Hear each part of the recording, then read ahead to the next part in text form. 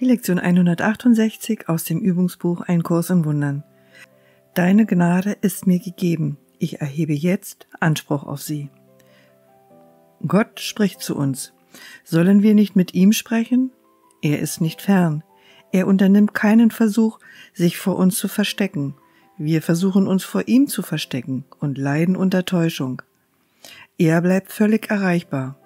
Er liebt seinen Sohn. Es gibt keine Gewissheit außer dieser, diese aber genügt. Er wird seinen Sohn lieben in alle Ewigkeit. Wenn sein Geist weiter schläft, liebt er ihn dennoch. Wenn sein Geist erwacht, liebt er ihn mit einer Liebe, die sich nie verändert. Wenn du nur die Befreiung seiner Liebe erkennen würdest, wären Hoffnung und Verzweiflung unmöglich. Denn die Hoffnung wäre auf immer erfüllt Verzweiflung jeglicher Art undenkbar. Seine Gnade ist seine Antwort auf alle Verzweiflung, denn in ihr liegt die Erinnerung an seine Liebe. Würde er nicht freudig die Mittel geben, durch die sein Wille erkannt wird? Seine Gnade ist durch deine Anerkennung dein. Und die Erinnerung an ihn erwacht in jenem Geist, der ihn um die Mittel bittet, durch die sein Schlaf vorbei ist. Heute bitten wir Gott um die Gabe, die er äußerst sorgsam in unseren Herzen bewahrt hat, wo sie auf Anerkennung wartet. Dies ist die Gabe, durch die Gott sich uns zuneigt und uns emporhebt, wobei er den letzten Schritt zur Erlösung selber tut.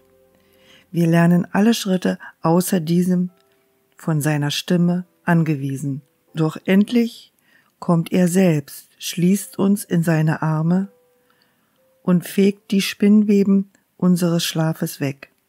Seine Gabe der Gnade ist mehr als nur eine Antwort.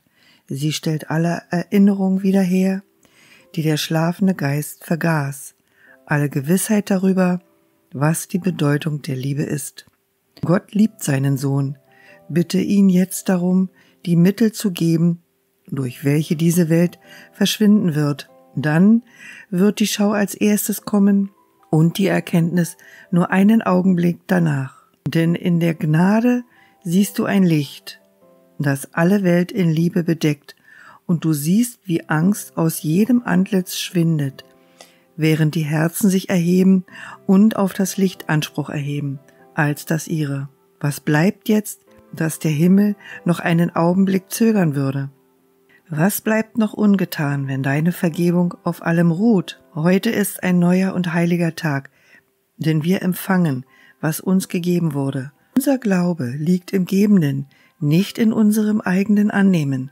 Wir erkennen unsere Fehler an, er aber, dem jeder Irrtum unbekannt ist, ist dennoch derjenige, der auf unsere Fehler antwortet, indem er uns die Mittel gibt, sie abzulegen und uns in Dankbarkeit und Liebe zu ihm zu erheben. Und er steigt nieder, um uns zu begegnen, während wir zu ihm kommen. Denn was er für uns vorbereitet hat, das gibt er und empfangen wir. Das ist sein Wille, weil er seinen Sohn liebt. Zu ihm beten wir heute, indem wir lediglich das Wort ihm wiedergeben, das er uns durch seine eigene Stimme, sein Wort und seine Liebe gab. Deine Gnade ist mir gegeben. Ich erhebe jetzt Anspruch auf sie. Vater, ich komme zu dir, und du wirst zu mir kommen, der ich bitte. Ich bin der Sohn, den du liebst.